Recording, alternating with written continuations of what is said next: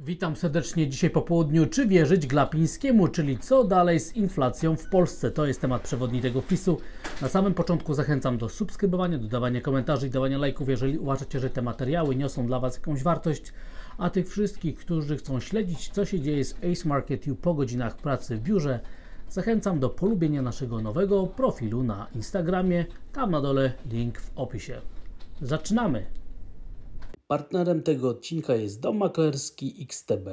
Informuję, że wykresy użyte, by stworzyć ten wpis, pochodzą m.in. z platformy X Station 5, z której korzystam na co dzień i którą gorąco polecam każdemu. Andrzej Stefaniak. Czy wierzyć Glapińskiemu, czyli co dalej z inflacją w Polsce? Drodzy Państwo, dla naszego podwórka najistotniejsze i najciekawsze były dzisiejsze nowe, najświeższe dane, czyli projekcja Narodowego Banku Polskiego o inflacji i także rzut oka na projekcję PKB. Ale inflacja dla nas jest niezwykle istotna i e, taka, która jest teraz tematem, e, który rozgrzewa rynek, zwłaszcza rynek obligacji.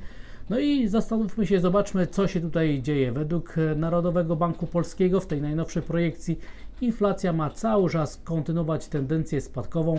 Już wkrótce ma stać się jednocyfrowa i jeżeli dalej tak pójdzie, to w przyszłym roku będzie już to zdecydowanie problem, który będzie za nami, a będziemy się później zbliżać do, pro, do tych e, założeń, do tej e, bandy, do tych e, wszystkich wartości, które są dla, dla banku centralnego niezwykle istotne i to i te dane są dość zbieżne z tymi projekcjami, które były w marcu, dlatego też rynek musi je teraz zacząć wyceniać i je uwzględniać. Poznaliśmy także projekcję wzrostu PKB i w tym wypadku wygląda na to, że także Narodowy Bank Polski widzi, że jesteśmy na dnie cyklu gospodarczego i że wkrótce tempo wzrostu gospodarczego powróci, ożywienie gospodarcze w, na, w naszym kraju się znowu e, pojawi.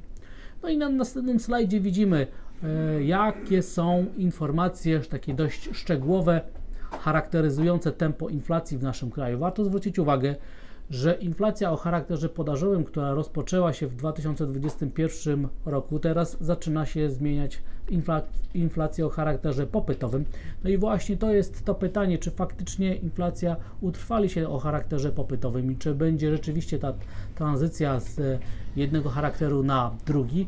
I po zachowaniu inflacji o charakterze e, o, o charakterze e, bazowym poznamy zdecydowanie więcej na temat tego, czy rzeczywiście jest e, duża szansa, mniejsza, czy też w ogóle e, będzie e, niewielka szansa na to, żeby ta projekcja się zmaterializowała. Dlatego też radzę obserwować to, co się wkrótce będzie działo, ponieważ od tempa tego, co się dzieje na inflacji, będziemy mogli zdecydowanie więcej wyrokować i będziemy teraz szczególnie bacznie patrzeć na inflację, inflację o charakterze bazowym warto zwrócić na to uwagę. Te komponenty tutaj są bardzo dla nas interesujące. No i o inflacji bazowej warto e, powiedzieć zdecydowanie więcej, na, na, na co będziemy teraz zwracać dużą uwagę. Dla mnie najciekawsze w tym raporcie było to, że tutaj bank pokazał nam korelację w zachowaniu e, inflacji w ujęciu core względem tego, jak zachowuje się inflacja producencka, czyli inflacja PPI. Jak wiemy, dla całej Europy, dla całego zachodniego świata, także w Polsce inflacja o charakterze e, o charakterze, o, charakterze producenckim, czy inflacja producencka dynamicznie spada. W niektórych krajach stała się już ona e, ujemna, czyli mamy deflację. Dla strefy euro także mamy deflację. Jest ogromnie prawdopodobne, że już za chwilę być może w momencie, kiedy ten materiał jest tworzony, czyli w lipcu, pojawi się także deflacja na inflacji producenckiej w naszym kraju. Ale w tym wypadku chciałbym zwrócić uwagę na korelację, czyli jakie, jaka, jak jest siła, jaka jest siła powiązania inflacji producenckiej z inflacją konsumencką. Widzimy, że wynosi ona plus 0,25, nie jest aż, aż tak bardzo silna, natomiast jest zdecydowanie silniejsza, jeżeli chodzi o porównanie inflacji producenckiej z core inflacją, czyli z tą inflacją bazową i wynosi ona już plus 0,45, czyli naprawdę jeżeli dalej będzie kontynuacja tej presji, tej tendencji na inflacji producenckiej, na to, żeby deflacja stawała się bardzo silna w Europie, w Stanach Zjednoczonych, a także jeżeli deflacja pojawi się w Polsce e, w momencie, kiedy teraz oglądacie Państwo ten materiał, to jest bardzo duże prawdopodobieństwo, że będzie ona wywoływała wpływ na spadek inflacji bazowej, na, na, czyli na tą miarę, na którą teraz będziemy patrzeć ze szczególną uwagą. Dlatego też dynamiczne spadki inflacji producenckiej, czyli inflacji PPI, która wkrótce w Polsce stanie się deflacją, a w strefie euro już mamy deflację, będzie taka korzystnie wpływała na perspektywy inflacyjne. Także w ujęciu konsumenckim, ponieważ no, ta korelacja z konsumencką inflacją CPI cały czas także występuje. Jest ona zdecydowanie mniej dodatnia, ale ją wyraźnie widać. No i teraz odpowiedź na pytanie, czy wierzyć Glapińskiemu, że ta projekcja inflacji, która teraz została prze, e, pokazana, będzie się materializować. Jak rynek, który obstawia własnymi pieniędzmi, miliardami, milionami euro, dolarów, złotych, czy on wierzy w te słowa, czy też nie wierzy. Warto być tego świadomym, że jest obiektywny miernik, taki wskaźnik, który pokazuje, czy inwestorzy wierzą w te najnowsze projekcje, czy też nie wierzą. I to jest oczywiście miara rynkowa. W pierwszej kolejności warto zwrócić uwagę na zachowanie złotego, który nam pokazuje, zwłaszcza po piątkowej sesji, widzieliśmy presję na rzecz umocnienia krajowej waluty, tak względem euro, jak i amerykańskiego dolara. I widać, że najbliższe nawet opory nie były w stanie być pokonane, a to naprawdę jest raczej sygnał pro złoty, zachęcający do tego, żeby wieścić dalszą falę aprecjacji krajowej waluty, niż negatywny sygnał. I oczywiście to, że mamy siłę złotego, oznacza także, że występuje napływ inwestorów zagranicznych do naszego kraju, więc inwestorzy zagraniczni, którzy na chłodno analizują to, co się dzieje w Polsce, raczej wchodzą do naszego kraju niż wychodzą, a najlepszym miernikiem jest siła albo słabość złotego. Naprawdę złoty jest teraz bardzo wyraźnie silny, a gdyby uwzględnić, gdyby uwzględnić różnicę w tempie inflacji, w Polsce jest ona wyższa niż w strefie euro, czy też w Stanach Zjednoczonych, no i inwestorzy mają taki wskaźnik pokazujący siłę albo słabość złotego, czyli wskaźnik REAL, czyli Real Effective Exchange Rate, i on pokazuje, że złoty jest nawet najsilniejszy od kilku lat, więc naprawdę ta siła złotego jest bardzo dobrze widoczna i napływ kapitału widać jak na dłoni. Natomiast czy wierzyć Glapińskiemu w projekcję inflacji, czyli to, co dzisiaj poznaliśmy o godzinie 10. I najlepszym miernikiem jest to, jakie są oczekiwania wyrażone przez inwestorów na rynku obligacji przyszłych stóp procentowych. W pierwszej kolejności widzimy, że te ostatnie wydarzenia, czyli konferencja prezesa Narodowego Banku Polskiego i ta projekcja Narodowego Banku Polskiego, którą poznaliśmy dzisiaj, zbiła rentowność obligacji o ponad 20 punktów bazowych, nawet 25 punktów bazowych. E, tutaj rentowności polskich dziesiątek spadły, a to oznacza wielką siłę i wiarę inwestorów tych zagranicznych w to, że będzie się materializować i się spełni E, ta projekcja Narodowego Banku Polskiego o inflacji, czyli inwestorzy zagraniczni, inwestorzy krajowi także wierzą w to, że będzie się materializować, że ziści się ta projekcja, którą dzisiaj poznaliśmy i że wierzą inwestorzy w to, że słowa prezesa Glapińskiego o pierwszej obniżce stóp procentowych we wrześniu staną się faktem. To widać po zachowaniu obligacji, które rosną na cenach, a spada ich rentowność i to jest bardzo dobre E, zachowanie. Widać szczególnie zachowanie ceny po tym ETF-ie na całą polską, na, na polskie obligacje, który także jest już na bardzo dobrej drodze, żeby wkrótce zacząć tworzyć swoje historyczne maksima. Więc tutaj szeroki rynek wierzy w te słowa prezesa Glapińskiego i w tą projekcję inflacji Narodowego Banku Polskiego, którą poznaliśmy dzisiaj. A jakie są oczekiwania co do tego, co się ma wydarzać na stopach procentowych? Drodzy Państwo, i my tutaj posługujemy się, posługujemy się takimi miarami, które e, sygnalizują nam właśnie te oczekiwania co do przyszłej stopy procentowej i ta miara, która nam pokazuje, gdzie mogą być stopy procentowe mniej więcej we wrześniu, w październiku, mówi nam o prawdopodobnym już cięciu nawet o 50 punktów bazowych. I zobaczcie, drodzy Państwo, jak na przestrzeni ostatnich dni spada ten wskaźnik ten najbardziej krótkoterminowy, czyli zwiększa się prawdopodobieństwo, że nawet 50 punktów bazowych stopy procentowe spadną w okolicach wyborów, prawdopodobnie we wrześniu. A jak zobaczymy te perspektywy mniej więcej na przełomie tego i przyszłego roku, to widzimy, że jest szansa na nawet na kolejne obniżki stóp procentowych, co najmniej jeszcze jedną 25 punktów bazowych, a być może nawet stopy procentowe na przełomie tego i przyszłego roku będą o 100 punktów bazowych, czyli 1 punkt procentowy niższe niż są teraz, czyli mniej więcej będą na poziomie 5,75, co powinno być bardzo wielkim, e, co powinno być wielką ulgą dla tych wszystkich, którzy mają zobowiązania i oczywiście takie zachowanie powinno napędzić kolejną falę wzrostu cen polskich obligacji, czyli spadków rentowności i tego można się spodziewać. Więc odpowiedź na pytanie, czy wierzyć prezesowi Glapińskiemu, czy wierzyć Glapińskiemu w to, że inflacja zachowa się tak jak ta projekcja? Zdecydowanie tak. Odpowiedź brzmi, ponieważ analizując to, co się dzieje na wykresie przyszłych stóp procentowych, jak e, zachowują się polskie obligacje, odpowiedź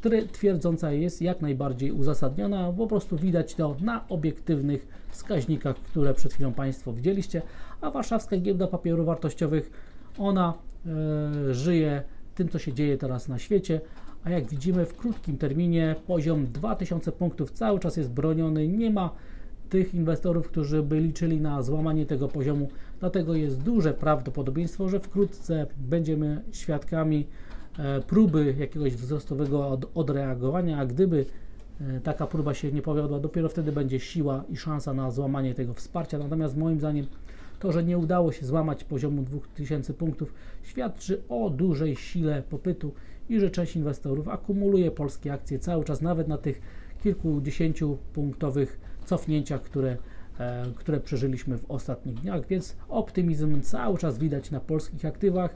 Inwestorzy zagraniczni wierzą Glapińskiemu. Co dalej z inflacją w Polsce?